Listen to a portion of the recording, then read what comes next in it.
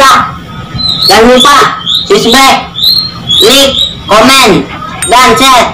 Thank you.